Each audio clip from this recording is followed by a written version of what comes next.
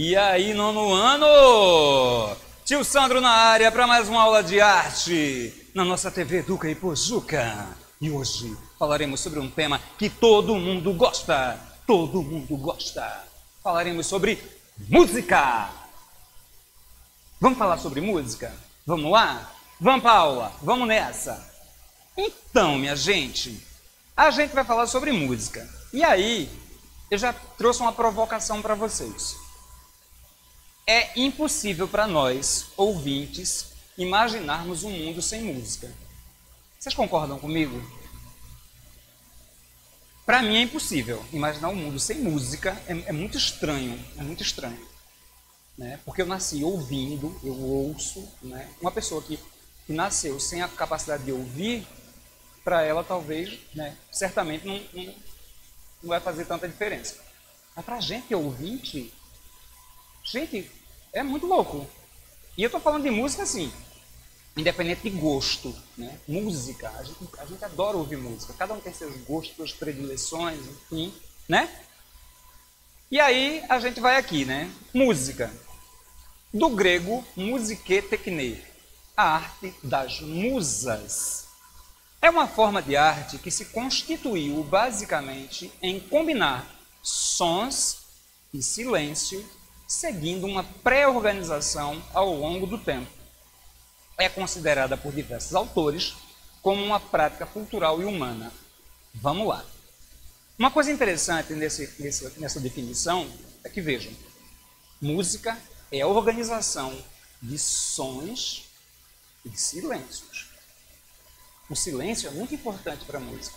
Os intervalos entre uma nota e outra vão dar a melodia, vão dar o ritmo, vão dar o tom da música, inclusive.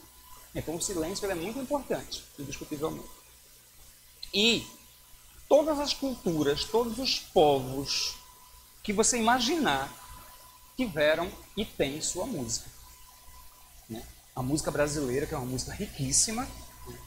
mas tem a música americana, norte-americana, tem a música mexicana, tem a música argentina, tem a música japonesa, tem a música chinesa, tem a música africana, tem, enfim, e são bem diferentes entre si. Todos os povos têm sua música, toda cultura tem sua música. E não existe música melhor que a outra, isso é uma questão de gosto. Você pode gostar, por exemplo, de brega funk e não gostar de MPB. Não quer dizer que o brega funk seja melhor que a MPB quer dizer que você gosta do brega funk ou gosta da MPB, apenas isso. O fato de eu não gostar de uma música não faz com que ela deixe de ser música, que ela perca o valor dela, ok? Vamos lá. E aí a música, falando das, das musas, né? Vou contar a historinha para vocês, tá certo? Veja. Zeus, deus dos deuses no Olimpo, na Grécia, ok? Zeus era muito paquerador, era muito namorador, muito chavequeiro, tá ligado? Chegava assim, chavecava mesmo. Ele era casado com, com a deusa Hera, mas ele botava tanto chifre nela. Minha gente, olha, era uma danação. Zeus era danado, viu? Isso era da pá virada. E tinha Mnemosine, que era uma titânia.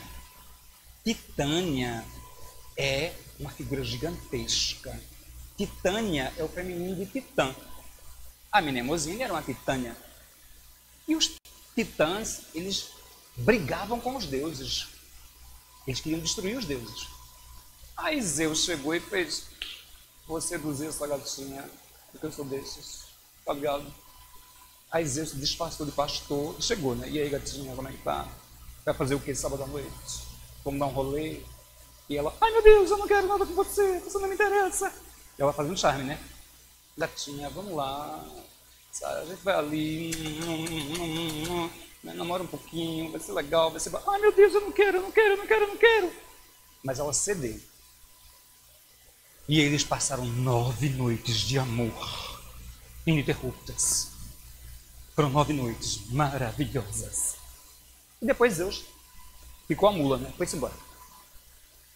Minha gente, um ano depois, Mnemosine deu à luz a nove musas.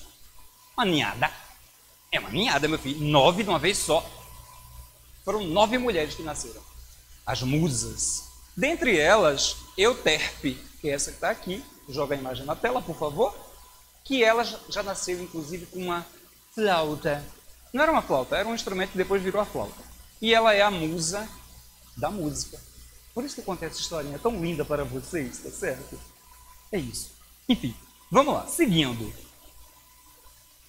A música na nossa vida. Oh meu Deus, vamos lá. Eu trouxe aqui um forrozinho bem gostoso pra gente. Eu dei um beijo, eu dei um beijo, eu beijei Ana Maria. Por causa disso, eu quase entrava numa fria. Ana Maria tinha dona, eu não sabia. Mas quem diria? Santana. Forrozinho gostoso, São João, todo mundo ali no ralabucho. Muito bom, né? Maravilha. Vou trazer outra música para vocês, que eu acho que vocês não conhecem, mas eu vou trazer que é desse moço aqui que eu adoro, admiro muito, Chico Buarque de Holanda. Esse cara é um poeta incrível. Tem uma canção dele chamada Eu Te Amo. E essa canção é um fim de relacionamento. O casal acabou o casamento ali. Acabou. É a briga e assim, segue teu rumo, vou seguir o meu. Aí na canção ele diz assim. Eu não vou cantar não, porque enfim, vou, vou ler para vocês. Aí o cara pergunta para a mulher, né? Como? Se na desordem do armário embutido, meu paletó enlaça o teu vestido e o meu sapato ainda pisa no teu. Como tu vai me deixar? Qual é? Né? Vejam, né? E vamos aqui para outro rapaz, que é um rapaz mais novinho, chamado Pedro Sampaio com uma música chamada Dançarina, né? Que ele fala que no bailão ela gosta de bailar, no bailão ela gosta de bailar, no bailão ela gosta de bailar. O resto eu não sei porquê, né? Mas tem um refrão que diz assim: Ah, doida pra sentar, né? Sucessão aí, né? No brega funk, no TikTok, no tchá, tchá, tchá, né? Maravilha, né? Ok. Agora vamos fazer uma pequena reflexão. Vamos voltar para o Santana. Vou voltar aqui, o slide um minutinho. Bora ser o slide. Ande. Chico, Santana. Eita, passou direto. Santana. Veja. Santana diz que deu um beijo, beijou Ana Maria. Por causa disso, ele quase entrava numa fria, porque Ana Maria tinha dono e ele não sabia. Mas peraí. Ana Maria, por acaso, é um celular para ter dono? Ana Maria, por acaso, é um óculos para ter dono? Eu acho que não, né? Ana Maria é uma pessoa, é um ser humano, igual a mim, igual a você. Como é que Ana Maria tem dono? Que história é essa de Ana Maria ter dono, de Ana Maria ser propriedade de alguém? Hum, tá muito estranha essa história, não tá? Aí vamos para Chico Buarque, que eu adoro, que ele pergunta para a mulher lá, né? A mulher diz, olha, eu não quero mais você, vai embora, não sei o quê. Aí ele faz, como?